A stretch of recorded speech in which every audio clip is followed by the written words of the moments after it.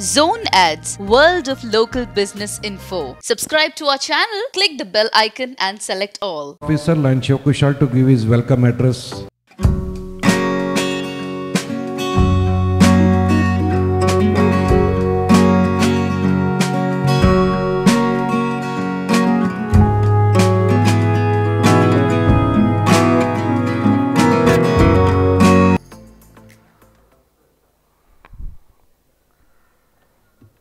Friends, happy evening. Warm welcome to today's chief guest and immediate past district governor and institution officer, Avula Gopal Rao garu. Warm welcome to the guest of honors, second VDG, Lion Krishna Prasad garu. My dear Lion friends, Lion ladies, Leos, happy evening once again. Thank you all for making it today. Friends, I take this opportunity on behalf of all our PSTs to thank all our club members for giving us an opportunity to serve for 21-22. What a wonderful year it was for us. To start with, we had a privilege, of having FDA trainer Himadri Garu, RC Nanda Srinivas Garu, and we had a ZC also from our club, Chaitanya Garu serving for 21-22 Lionistic year. Apart from this, we did some of the out-of-the-box activities. Two of them got published in Lions magazine, and one activity won appreciation from the international too.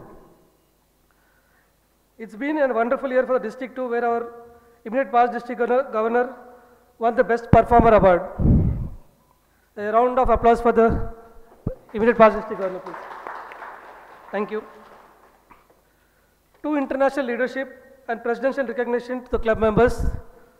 Apart from the two MJs from the club were given to LCIF, one new club was introduced. Second Secunderabad Kompally Jaibari and 35 new members were added to the club. Almost all the services activities done were need based. That makes our club ECIL Elite unique as always. This trend will continue throughout the year for the coming Lioness Year 22-23 by our new PSTs. Outgoing PST and all fine members of ECIL Elite welcome the incoming PSTs.